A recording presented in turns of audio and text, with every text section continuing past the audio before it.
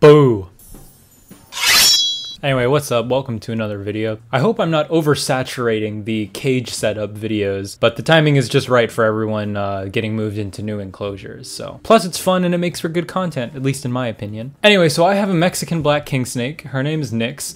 I've had her since about July of 2020, and she has been in a 10 gallon cage ever since. And she's starting to get a little bit large. Large enough to where I don't really feel that she is living her best life in a 10 gallon, but putting her in like a 20 gallon or something slightly bigger would not exactly be the best use of my time. So I think I'm gonna upgrade her into a 50 gallon cage that I bought for her a while back. Now currently Nyx is experiencing some problems. I found a small infestation of mites in my reptile collection collection a couple months ago. I haven't really mentioned it on the channel because I wanted to save basically my whole experience dealing with these mites for the second time, basically, because I've had mites before. I think I've mentioned that before. But I wanted to save my full ordeal with dealing with mites for a couple separate videos, like a reptile room update and then a video specifically about the mites. Nyx is a lot better now. She's she's doing good. She's pretty much free of the mites. And now that she's free, it's the perfect opportunity to move her into a new enclosure because all of her old stuff I had to wash and most of it I just threw away. so that's the goal of this video. Give Nyx the Mexican Black King Snake a brand new cage. Some goals that I have for the cage. I want her to have numerous hiding spots.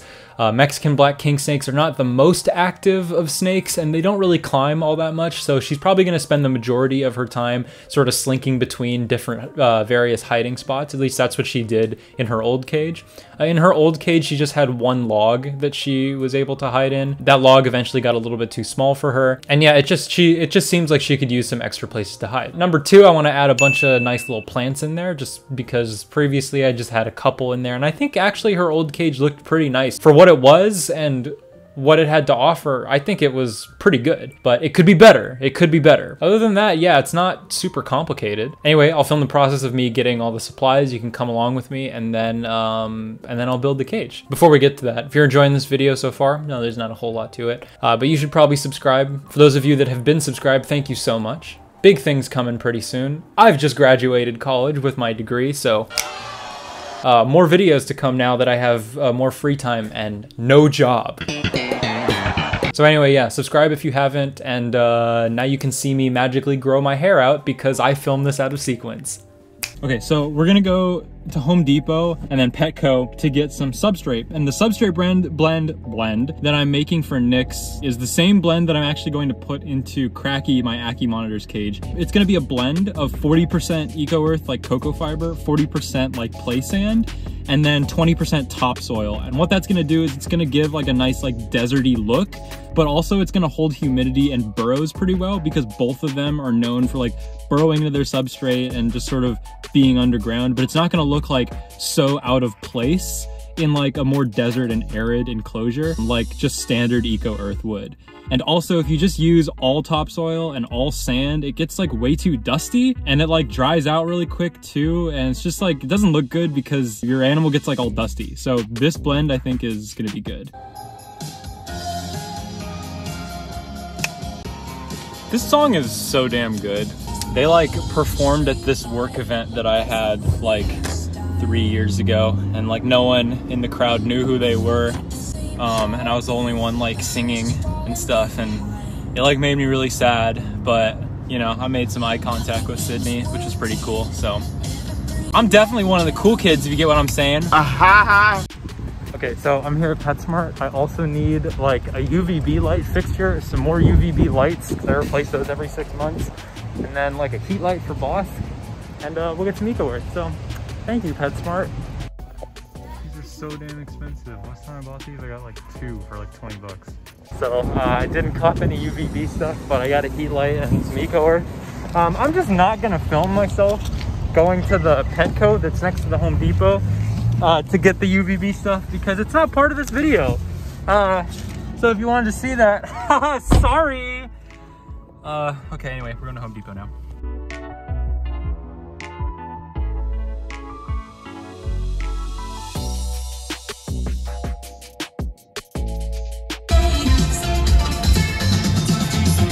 Let's make a bet. Will my small, frail arms and very small frame be able to carry the 30 pounds of sand and dirt that I'm about to pick up? Uh, comment down below if you think I'll be able to do it, guys. you know, I fucking hate it when people just leave their carts out. But uh, in this situation, uh, it's easy access. I am ready to embarrass myself picking this up.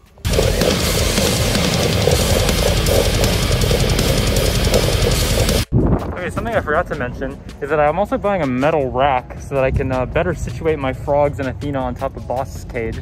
And uh, look how uh, look how big this is. And uh, my car. Uh, I hope this fits. Uh, update. Yeah, it fits in my car. And the bag of sand just came open as I was putting in my car. So hopefully it doesn't completely spill all over my trunk while we're driving. Um, uh, anyway, um, let's go over all the stuff we have to make the cage with. So as is tradition with all of these uh, setup and tank videos, I will probably not be using all the decorations that I've bought. Okay, so hard decorations. I got this nice little branch here. I got a water bowl. Got this stone looking hide. Got a a T-Rex skull. See, I can finally use this and not feel weird about it. This was always in Bosk's cage, but Bosk is an African monitor and T-Rexes are from North America. Granted, Nyx is from Mexico and T-Rexes are primarily found like in the United States, but who cares? Doesn't matter. North America, same continent. It'll look cool. And then I got some slate here, and then I don't want to take out all the individual rocks, but there's a bunch of rocks in there. Oh yeah, I have this other branch that was in Elio's old cage. Nice cork round.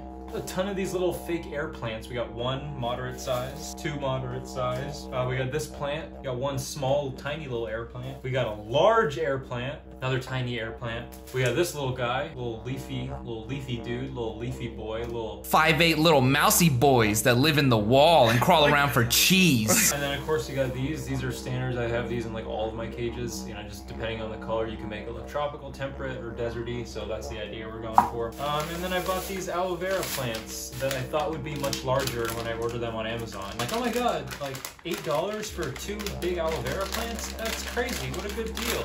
And then they finally get here, and it's just like that. Anyway, so first, uh, we're just gonna do the substrate blend. I got a bunch of Eco Earth here. I'm gonna be mixing Eco Earth, Play Sand, and Topsoil. Yeah, no delays, let's just do it.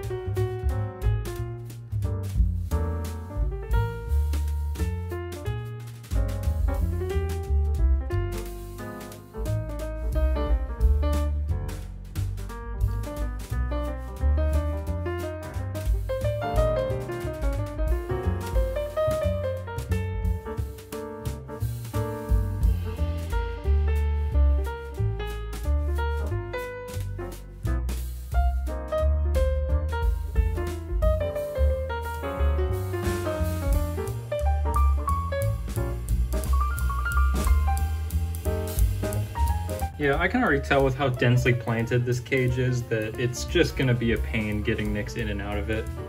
Uh, okay, so I'm gonna let the cage sit for a couple days because uh, Nyx is still in quarantine. So when she's out of quarantine, I'll make a couple adjustments maybe, um, and then I'll just stick her right in the cage. And um, you know what? I'll just show you now.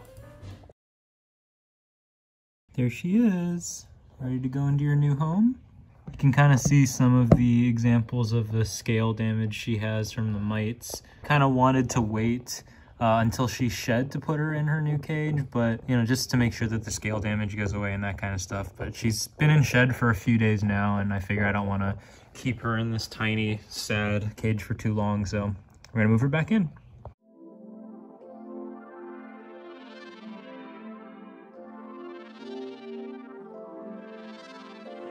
Bro.